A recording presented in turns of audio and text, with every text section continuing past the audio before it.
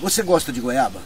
Eu tenho aqui uma muda de uma goiaba muito especial. Olha, essa é a goiaba maçã.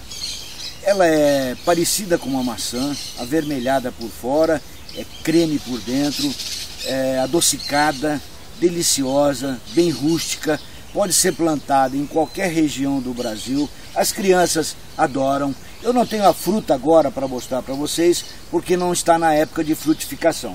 Mas você pode adquirir as nossas mudas de frutíferas através do Mercado Livre.